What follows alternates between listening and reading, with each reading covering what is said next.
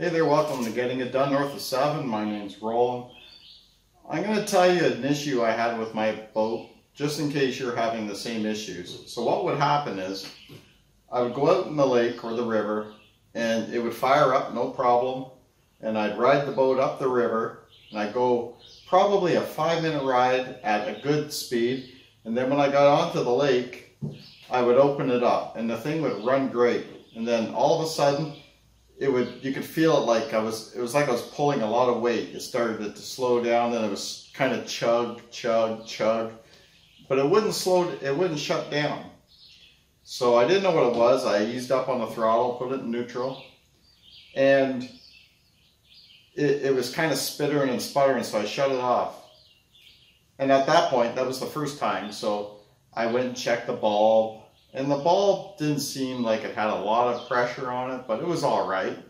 And there was water coming out of, from, you know, when the water circulates through your motor to cool it, the water spits out. It was fine. It was spitting out. So uh, I fired it back up and it ran great for about another three minutes, two minutes. And it started doing the same thing, just chugging and chugging. So I shut it off and fired it back up again and it ran another little ways and I made it all the way back to the boat launch. I loaded it up, brought it home. Well, I was talking to some people and they're saying, this one person was saying, well, maybe it's a cooling problem because when your engine overheats on the boat motors, they're set up to shut down if they overheat. So maybe the impeller wasn't running water through the cooling system, wasn't bringing it into the engine and, and, circulating the water through your motor. So I went and got a new impeller and my your impeller is like a star. It has like six or seven little paddles on it it's round. It's about this big. And when they're wore out, they'll be all kind of bent over like this because they run around inside of a ring. But when they're wore out, they're really weak. So Mine only had two prongs that were kind of bent over, not looking that great. But you know what? I changed it anyway. It was a $30 fix. I thought, well, if this is it, no problem. So I, I fixed that, did that repair, took it back out the river. It ran all the way up the river and across the lake. I thought I had my problem solved. All of a sudden, same issue. So I was looking on a forum and they said, first to check your fuel uh, supply from the tank to the motor, or even the tank. Maybe it's your fuel line or the, the squeeze ball. This thing here. So I checked the fuel line, I took the connector off, and everything looked old, right? And I, I didn't want to spend a lot of money going into the motor. I wanted to check other things first. So I cut the line, and I thought, well, I'll just if it's okay, I'll just put the hose back over and I'll clamp it, right? So I cut the line, and inside this fuel line, there's another liner, and it's like a clear, but I guess with gas it changes color to like a tan color.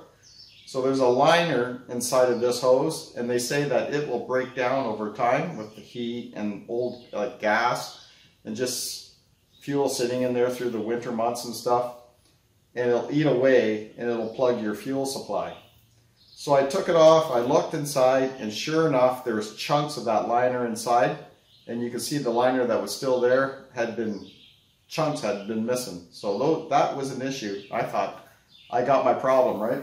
So I went and bought a new fuel line with a ball and everything. The whole, right from the tank to the motor. You can buy it as a kit. So I bought that, put it on, tried it out again.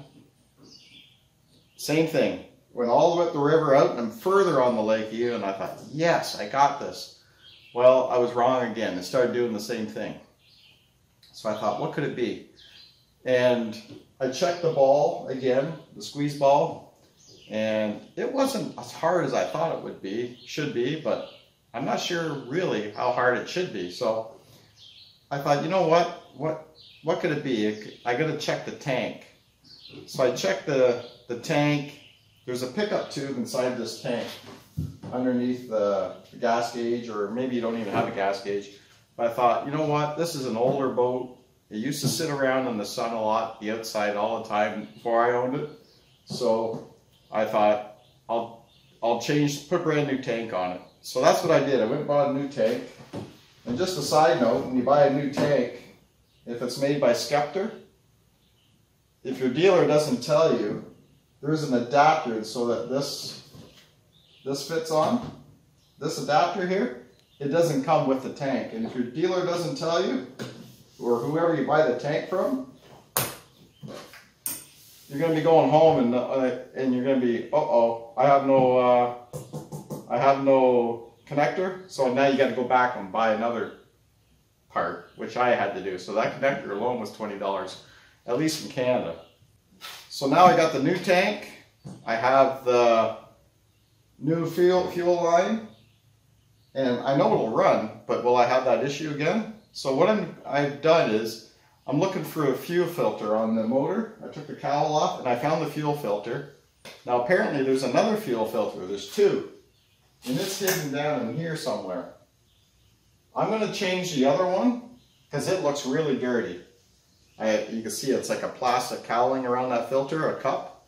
And that fuel filter looks disgusting. So I'm going to take it off and put a new fuel filter on. And then we'll go from there. So here's the fuel filter I was talking about. And you can see it's pretty dark in there. So what you do is you just slide this out of this bracket here. And your fuel filter sh should be in your hand. And you can just loosen this. Now what I did is I cut an old Pepsi bottle here and to catch the gas. So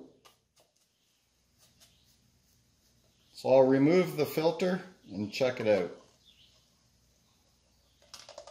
And I can see right now that my fuel filter is very dirty. And I don't know if you can see that. Yeah, you can see that. See that? That's that's the that's dirt or old gas, but probably part of that liner is in there and I can see it on the filter too. So I think we found our biggest problem here. I ran out and got a filter and like on here, I just took the filter off, this bowl with the filter inside, but they sell this all as one unit now. And I'll put a link to where you can get one down below in the description. So right now, I, I went ahead before I started filming, I forgot. So there's a couple tie clips, um, some plastic ties like this, holding the fuel lines onto this unit here. So I just cut them off and now I'm removing the fuel lines. And you got to make sure you don't get these mixed up too, I, I imagine. So I marked this one here with a white pencil. Okay, so I attached it from the hoses, the fuel lines. So now I have to take this off. I uh, just used a pair of pliers on the nut. Take all this off.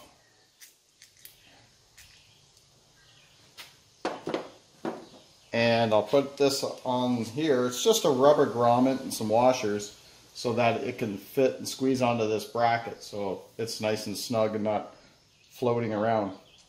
That's all it is. So I'll put it back together and I'll just snug it up with some pliers here. It's good enough. So this is the new one and I put on this and now I'll just hook these lines back up so I mark this line here, and I'll just put this one back on here like this. And this one on this side.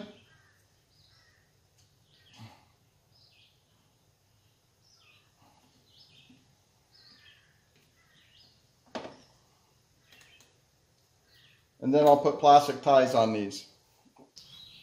Okay, so the new filter is in and I hook the lines back up, put the ties around here to hold the fuel lines on. So I mentioned the fuel filter that is down here. There's two fuel filters. The one I changed and this one. Um, this one wasn't in stock, so I couldn't get it. But I talked to a mechanic and he said that the fuel goes through that other fuel filter that I just changed. It goes through there first. So that filter would have caught all the stuff all the stuff from the fuel line that went into there. And I asked him straight up, I said, so does the, would this fuel filter get plugged up with any, with any of that stuff that went through and dirt and stuff? And he says, no, it wouldn't have made it through to this other fuel filter. but he says you should change that fuel filter if it hasn't been changed in a while. I haven't, I've had this boat about three years, so I've never changed this one. But I thought, I'm gonna put this one on and we'll try it. And if it works all good and all, I'm gonna get, I'm gonna order the other fuel filter. And when it's in stock, I'll replace it. So I'll recap really quickly everything I did. So this thing would run. So I'm running it up the river in the lake and it's running good and then it would start to chug and chug and cut out, right? Shut it off and then it would go again. So what I think what was happening with all that fuel pressure going through while you're running, it's causing all that stuff, that, that liner out of the, inside the fuel line that had rotted and broke down, it's causing a plug and it's plugging up. And when you shut it off, all that stuff goes back, right? There's no more pressure. So that's why I was able to run a little further until it all gathered there and plugged again. So I changed the fuel line, brand new fuel line from right from the tank right to the motor. And I probably didn't need to, but I put a whole new tank or bought a new tank for it as well. So everything is new. And the filter as well. And you saw the filter. It was a it was it was bad, right? So I bet you this thing runs good, and I'm going to come back. I'm going to take it out on the river, take it for a ride out on the lake, give it a good run, and if there's no issues, I will come back and tell you, and we'll go from there. Hi, I'm back for my test ride. Um, this is actually the next day. We actually rode the boat up the river around for over an hour last night. We got home kind of late, just before dark and I didn't remember I had to finish this video, but yes, the boat is working great now, fixed all the problems, and everything is looking great. So, so if this video helped you, give me a thumbs up, leave a comment below. Let me know if it helped or if you have any questions. And don't forget to hit that subscribe button. It doesn't cost you a dime, and it really helps me out, and I'd really appreciate it. So thanks for watching, and have a great day, and we'll see you on the next video.